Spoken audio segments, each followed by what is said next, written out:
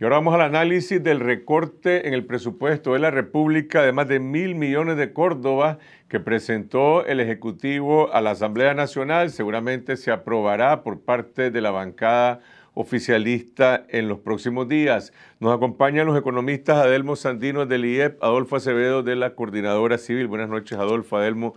Gracias por acompañarnos. Empecemos por entender las causas del problema. La baja en la recaudación tributaria se produce, esto es una expresión de la desaceleración de la economía, hay otras causas de fondo. ¿Cuál es la razón? Bien, allá en el instituto hemos venido llevando un análisis eh, mes a mes de la recaudación tributaria y de hecho, eh, desde el año pasado el gobierno terminó con una brecha de recaudación con respecto a la meta prevista de unos 2 mil millones de Córdoba. Eh, en el mes de enero eh, anunciamos también una baja en la recaudación. Posteriormente el gobierno hizo un ajuste en las estadísticas que publica el Banco Central nos encontramos con una sorpresa de que la recaudación específicamente del IR en, la declaración anual se disparó eh, casi que un 40%, si no mal recuerdo, y posteriormente decayó eh, de manera eh, pronunciada, se desaceleró la recaudación hasta llegar a, en junio de este año a crecer a una tasa del 11%. esto ya lo veníamos anunciando nosotros de cara al análisis que hacemos en el instituto. De hecho, nuestro nuestra publicación al respecto la titulamos Presupuesto General de la República 2014 eh, entre el retroceso tributario y la inminente reforma, porque eh, ya preveíamos eh, que el gobierno tenía la necesidad de hacer estos recortes. Pero es un problema asociado al sistema tributario, al impacto de la reforma que se hizo el año pasado o tiene que ver con otras causas de la actividad económica? Tiene que ver con el diseño de la ley de concertación tributaria. Después que entró en vigencia la ley de concertación tributaria, la tasa de crecimiento de la recaudación tributaria se derrumbó. Era antes de la ley de recaudación tributaria del 2004 al 2003, 2012, la recaudación tributaria creció a una tasa promedio del 19%. Después de la ley de concertación tributaria en el 2013, creció cerca del 10% y está proyectado que este año volverá a crecer cerca del 11%. Tiene que ver con, con dos impuestos fundamentalmente, con el impuesto sobre la renta, que fue el, que, el, impuesto que sufrió una transformación completa con la ley de concertación tributaria y con el impuesto selectivo al consumo sobre las importaciones.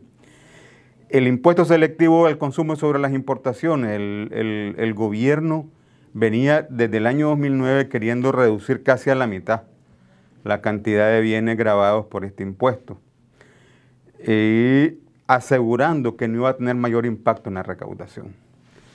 Este,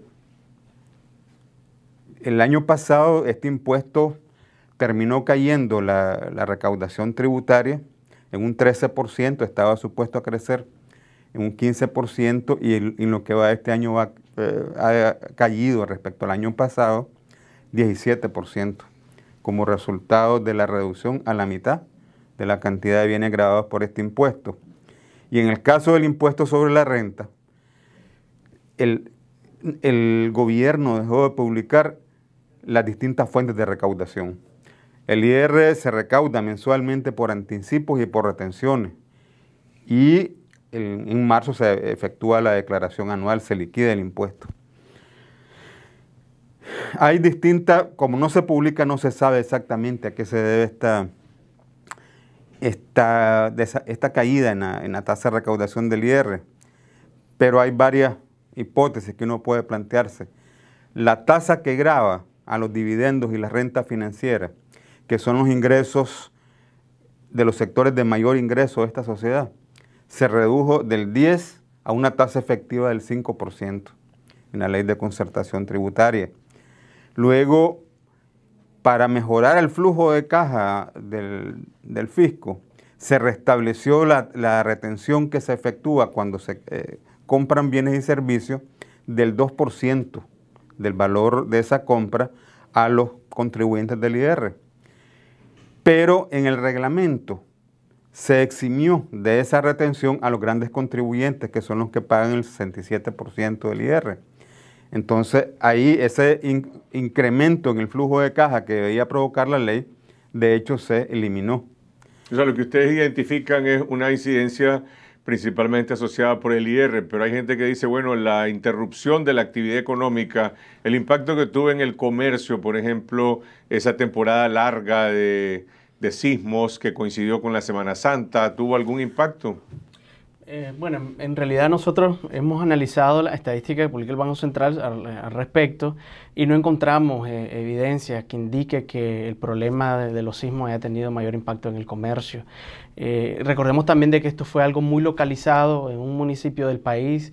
si bien la alarma pudo haber alertado a, los veraneantes a, no salir ¿no? a veranear, eh, sin embargo, no hay hasta el momento eh, datos que indiquen que efectivamente eh, los sismos hayan tenido un gran impacto en la actividad económica que haya provocado una caída en la recaudación.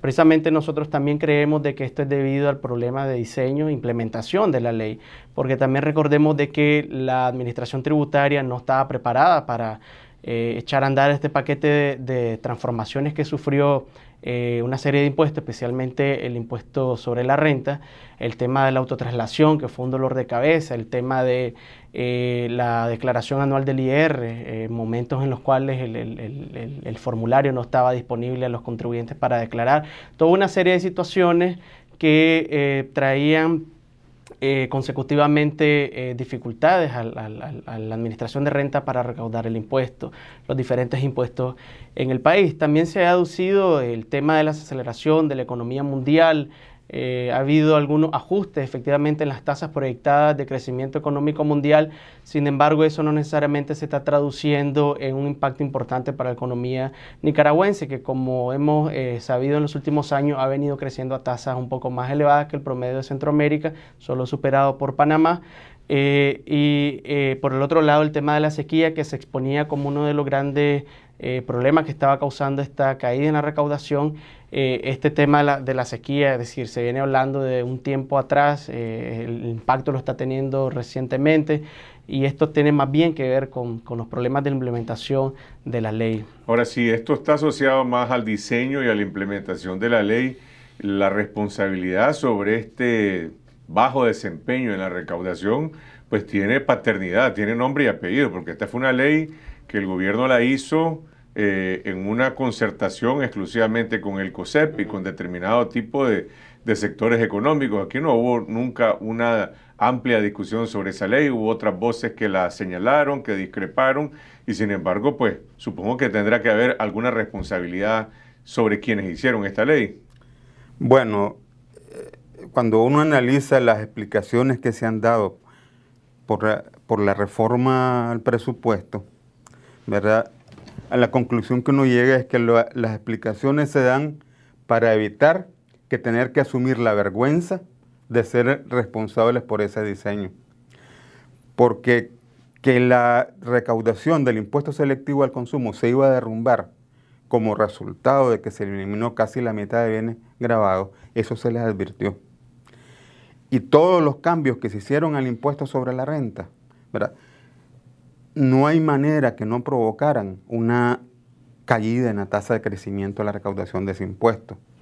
Entonces, eh, incluso el tema, el, factor fundamental al cual se le quiere atribuir esto es la sequía. La sequía lo que afectaría sería la producción del sector agropecuario.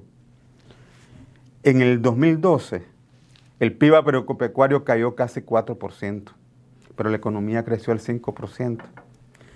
Al mes de junio, el, eh, el indicador mensual de actividad económica agrícola está creciendo al 6%, ¿verdad?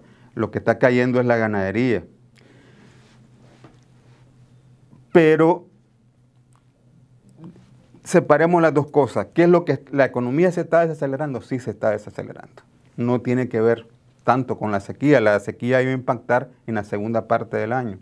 Tiene que ver con explicarse por qué la economía creció al 5.7% en el 2011 y al 5% en el 2012 y por qué la economía desde el año pasado se comienza a desacelerar. La economía creció a esas tasas, primero porque el consumo de los hogares creció. Y el consumo de los hogares creció porque en el 2011 y en el 2012 el crecimiento de las remesas familiares era cerca del 12% promedio. Ahorita el crecimiento de las remesas está creciendo a una tasa promedio interanual del 6%, es decir, se redujo la mitad. Y esto, además... El, ¿Tanto impacto tiene la remesa en el consumo para tener esa incidencia en el crecimiento de la economía? Sí, claro, porque la gente piensa que los ingresos se generan en Nicaragua, pero estamos hablando de remesas familiares que alcanzan más del 10% del PIB y que aumentan el ingreso disponible en los hogares mucho más de, lo que, de, los ingresos que genera la propia economía. Eso en la parte del consumo, en la parte de la inversión. Pero en el, en el consumo también, en, en, ese momento hubo una fuerte mejoría de los términos del intercambio, que también aumentan el ingreso disponible y eso provocó un fuerte crecimiento del consumo. El consumo en ese momento estaba creciendo a tasas del 5%, ahorita cayó, está creciendo a una tasa del 3%. La inversión privada, es cierto que la, inversión, la inversión privada se ha derrumbado. En el 2013 fue 30% menor que en, el 2000, que en el 2008. Pero eh, lo que se ha derrumbado... dijiste en 2013 en comparación con... Al 2008, es 30% menor. O sea, se ha derrumbado. Pasó del 26% del PIB en el 2013 al 14% del PIB. Perdón, en el 2008 26% al 14% del PIB en el 2013. Es un derrumbe impresionante. Pero los componentes de la inversión privada han sido, el, comportamiento ha sido diferente. Aquí toda la atención, por lo menos del discurso oficial, está centrado en la atracción de la inversión extranjera directa. La inversión nacional y extranjera en el 2013 era 13% inferior al 2008. La inversión nacional y extranjera en el 2013 representó el 14% del PIB, en el 2008 representó el 26% del PIB. Ese es un derrumbe impresionante.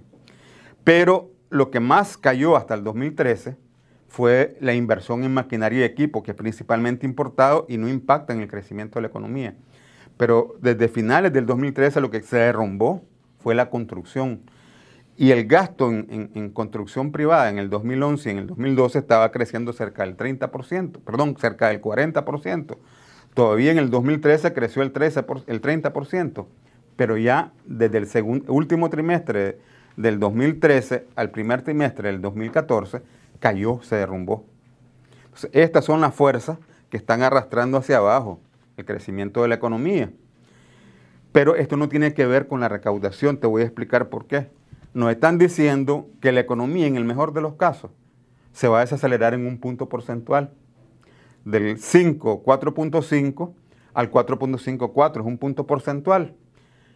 Pero el PIB a precios corrientes va a ser el mismo porque se va a acelerar la inflación, se está acelerando. Entonces, si el PIB a precios corrientes no cambia, explícame cómo es que la recaudación va, a caer en 7 puntos, del 18 al 11, desde el 18.6 al 11.6. Y el PIB corriente no va a cambiar. Y, y en todo caso, supongamos que el PIB corriente cayera en un punto. ¿Cómo un punto de caída en el PIB corriente te va a explicar siete puntos de caída en la recaudación. Que vamos a volver sobre el tema de las alternativas que seguro está contemplando el gobierno, aparte de reducción de gasto en cuanto al sistema tributario. Desde hace meses se viene hablando de otra negociación entre el COSEP y el gobierno para reformar la ley de concertación tributaria. Pero antes hablemos sobre eh, la lógica del recorte presupuestario, cuáles son los principales sectores de la producción, de los servicios, de la economía que están siendo afectados o que serán afectados. Ya se conoce el plan básico de la distribución de este recorte. Los principales, digamos, áreas afectadas serían, en primer lugar, las transferencias municipales, el Ministerio de Energía, el Ministerio de Agricultura, Educación, Salud. ¿Cuáles son las consideraciones o el análisis que hacen ustedes eh, sobre la manera en cómo se hace este recorte y qué impacto tendrá. Eh, sí, el gobierno para este año estimaba eh, un gasto equivalente al 17% del PIB. sin embargo, al caerse las previsiones de recaudación de impuestos, el gobierno, en lugar de estar digamos, recaudando el, equivalente a 15 puntos del PIB, está recaudando un punto menos. Eso lleva pues, necesariamente al gobierno a recortar el presupuesto y, precisamente a tener impactos en, instituciones eh, importantes. En temas de recorte presupuestario, efectivamente las municipalidades eh, que reciben fondos directos del gobierno, transferencia, son las más afectadas, con un recorte de 176 millones de córdobas.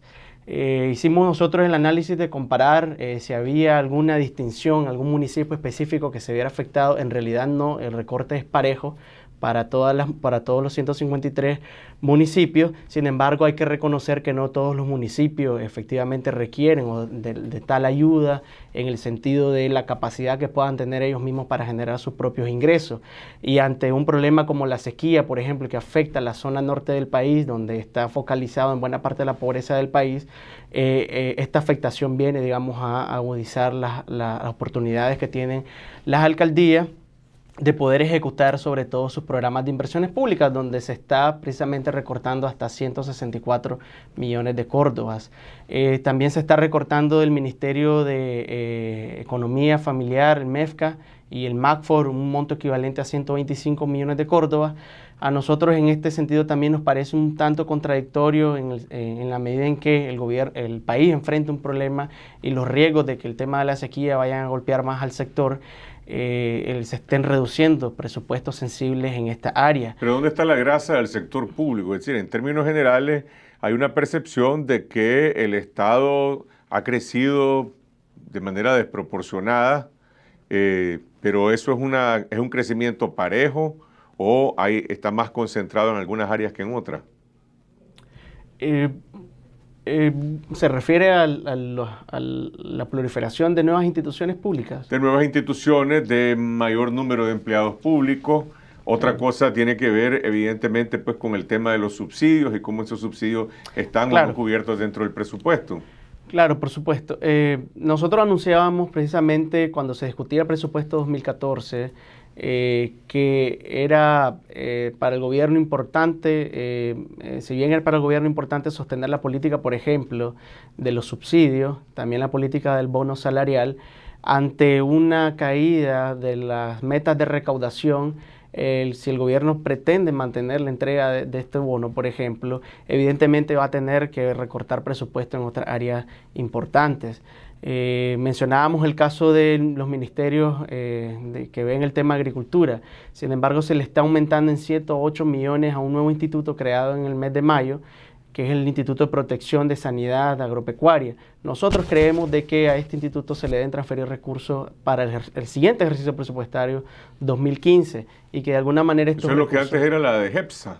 La Dirección General de Políticas de Sanidad. Se ha elevado a un nivel superior, ¿verdad? Eh, se está financiando en la reforma con donaciones y también con recursos del Tesoro, hasta 73 millones de Córdoba.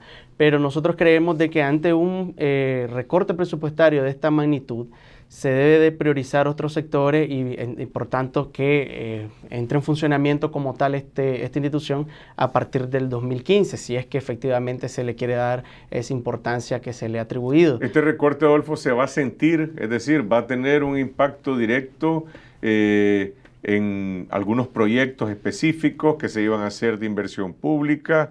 ¿Cómo se percibirá el impacto? Uh, en el, caso del Ministerio de Educación, digamos, el, recorte recae principalmente sobre proyectos de rehabilitación de institutos de secundaria en las distintas regiones del país. En el caso del Ministerio de Transporte e Infraestructura hay distintos proyectos de, rehabilitación de caminos que también se suspenden.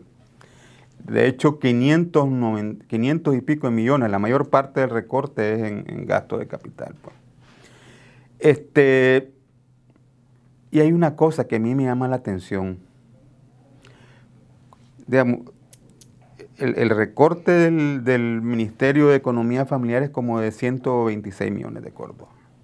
Pero como porcentaje del presupuesto es un recorte del 28% del presupuesto. Hay que recordar de que el, el Ministerio de Economía Familiar fue una especie de premio de consolación para un sector dentro del partido del gobierno que digamos que promovía más o defendía más los intereses de los pequeños y medianos productores de la, de la pequeña y mediana empresa. Pues. Entonces se creó este ministerio como una especie de premio de consolación donde estos sectores pues iban a poder impulsar iniciativas para promover estos sectores. Y el recorte, porque el recorte presupuestario no solo refleja, también refleja prioridades políticas, pues. Entonces a mí me llamó la atención que el recorte representa cerca del 28% eh, del presupuesto de esta institución. En el caso del Magufo también el recorte es importante.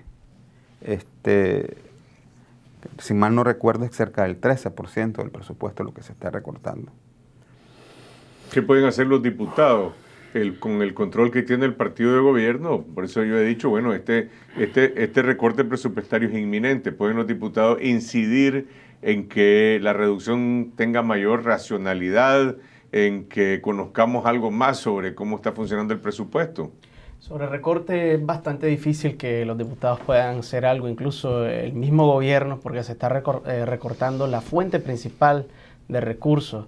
Prácticamente 87% de los gastos ¿verdad? que están destinados este año se financian vía ingresos tributarios. Sí, por supuesto, se pueden hacer eh, reordenamiento de estas prioridades de recorte, sin embargo hay que destacar algo con el tema de la infraestructura escolar.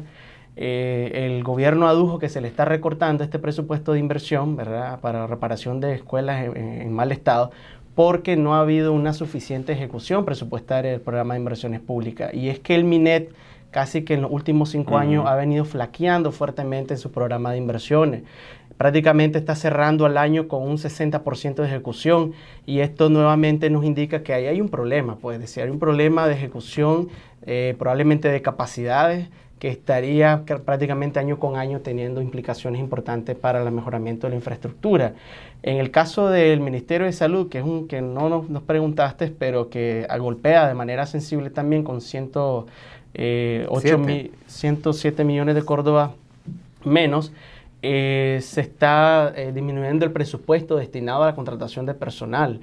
y también se está aumentando, por otro lado, las asignaciones para despido, así lo dice la reforma presupuestaria.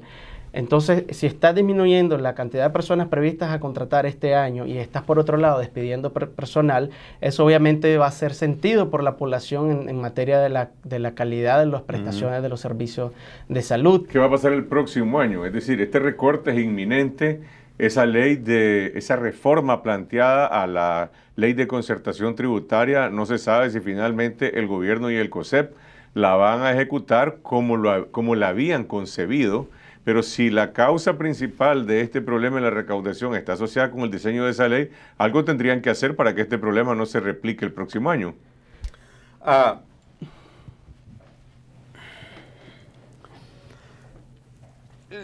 los cambios que se hicieron, como dijiste, fueron negociados a puerta cerrada entre el COSEP y el gobierno y todavía se hicieron cambios después que la, la ley fue enviada a la Asamblea y, se hicieron cambios a última hora bastante atropellados. El reglamento de la ley que se, también se emitió a toda carrera, ni siquiera le reglamentó todos los artículos de la ley, de tal manera que el reglamento tiene un articulado mucho menor que el de la ley. Este, y ahí pesaron los intereses de, los grupos empresariales. Este, fíjate los cambios que yo te mencioné la reducción de la tasa efectiva sobre dividendos y renta financiera del 10 al 5%, la eliminación para los grandes contribuyentes de la retención del, 10 del 2% sobre compra de bienes y servicios, que es uno de los flujos de caja donde se esperaba el incremento del flujo de caja para el fisco. se está eximido el, azúcar y el arroz del pago mínimo del 1%, alegando que son productos que eh, importantes para la canasta básica. Este, y por otra parte se está planteando reducir la tasa del, del IR gradualmente del 30 al 25 mientras se mantiene el enorme sistema de exenciones y exoneraciones. El sistema de exenciones y exoneraciones lo que, y, la, y, la, y la evasión lo que hacen es que la tasa efectiva del IR que nominalmente del 30%, la tasa efectiva es del 2%. porque le estás reduciendo dramáticamente la base de recaudación del IR. Entonces, reducir la tasa del IR sobre actividades económicas del 30 al 25% no es, no es incorrecto, porque ese es el nivel más o menos donde anda la tasa internacional. Pero a nivel internacional los países desarrollados han reducido la tasa, pero eliminaron exenciones y exoneraciones, de tal manera que en esos países la tasa nominal es más la tasa efectiva es más cercana a la tasa nominal. Pero vamos a lo que cuáles son las opciones reales que tiene hoy el gobierno y de cara al próximo año. Hace pocas semanas aquí se, aquí se daba casi como inminente una nueva reforma a la ley tributaria. No conozco en qué dirección. En algún momento con el presidente del Consejo, Adán Aguirre, hablamos de ese tema en este programa. ¿Debería el gobierno mantener la dirección que llevaba o modificarla? ¿Qué opciones hay? Nosotros proponemos de que haya una, un alto, ¿verdad? Este proceso eh, de inestabilidad, de reforma al reglamento, a la ley, eh, especialmente que se detenga el otorgamiento de beneficios fiscales porque están prácticamente eh, limitando más las posibilidades de recaudación real del gobierno. En segundo lugar, nosotros creemos de que debe revisarse eh, la ley de concertación como tal. Si el gobierno quiere mantener la entrega del bono solidario ¿verdad? a 130 mil trabajadores que más o menos beneficia, inevitablemente va a tener que revisar la ley eh, está como en un dilema, ¿no? Seguir beneficiando con tantos privilegios fiscales o seguir beneficiando también a un segmento importante de la población. Nosotros creemos de que se va a ver forzado porque en buena medida las fuentes externas, ¿verdad?, que financian también el presupuesto, hay tendencias a que éstas sigan reduciéndose. Precisamente en, en, la reforma presupuestaria se está recortando el presupuesto de donaciones en casi 200 millones de Córdoba. Eh, no sabemos qué está pasando con la cooperación venezolana, ¿verdad? El gobierno ha venido aportando cerca de 14 millones de Córdoba al Banco del ALBA. No sabemos siquiera eh, qué eh, beneficio del país le va a reportar esto. Incluso estos aportes superan casi en, doble lo que anualmente el gobierno le otorga a organismos como el BID, al BESIE, que tienen líneas importantes de crédito para el país. Entonces creemos nosotros que ha llegado un punto de inflexión en el cual el gobierno tiene que eh, hacer estas revisiones y eh, adelantar este proceso que anunció, que ojalá sea cierto, de eh, limitar el otorgamiento de exoneraciones que cuestan el 7% del Ahora, esta política económica la deciden entre dos, la decide entre el gobierno y el COSEP. Incluso se ha dicho que son, que son decisiones que han sido consensuadas. Por eso, te decía, la, la decisión que se ha adoptado ha sido adaptar el gasto al rendimiento real de la, recaudación. Si la recaudación real se cayó del 19% antes de la reforma al 10% después de la reforma, el gasto se ajusta. Entonces, lo que tenemos que plantearnos los nicaragüenses, y aquí no estoy hablando del gobierno, estoy hablando del COSEP, porque este país es nuestro, de los nicaragüenses, es cuál es el papel que les corresponde a las finanzas públicas. Este país necesita hacer un esfuerzo de invertir en educación muy serio. Nicaragua tiene un rezago enorme en materia de educación. Eh, lo que está ocurriendo es que el, gasto de educación del Ministerio de Educación, como estaba proyectado, se mantenía en el 3%. Y necesitaría llevarlo por lo menos al 7% del PIB para lograr eh, metas importantes, no solo en materia de cobertura, sino sobre todo en materia de mejoría de la calidad. Este país además necesita hacer un esfuerzo enorme en materia de inversión en infraestructura, infraestructura económica, infraestructura social, infraestructura vial, etc. Y el gasto público en, infraestructura anda por el 4% eh, del PIB apenas. Entonces se necesita un sistema tributario que financie eso. Y un sistema tributario que financie eso solo es posible si cumple dos requisitos el principio de generalidad, es decir, que todos los que tengan capacidad contributiva contribuyan, es decir, comenzar a desmantelar este sistema enorme de exenciones y exoneraciones y que el sistema grave proporcionalmente más a los que concentran el ingreso. E, es la única manera, no se ha inventado otra. Entonces, si me decís que es lo más probable que va a ocurrir, lo más probable que va a ocurrir es que la inversión pública en capital humano y en infraestructura se va a ajustar a los niveles de recaudación que, que, promueve esta ley. Si me decís que es lo que el país necesita, es una transformación profunda del sistema tributario en esta dirección. Este, ¿Por qué te digo que este es un problema de los ciudadanos y las ciudadanas?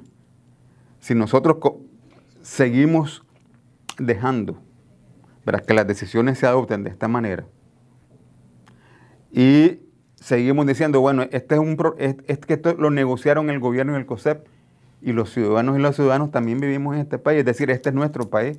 Las implicaciones y las consecuencias de esas decisiones las vamos a pagar todos. Entonces, también de nosotros eh, va a depender cuál es el, el camino que sigue, pues.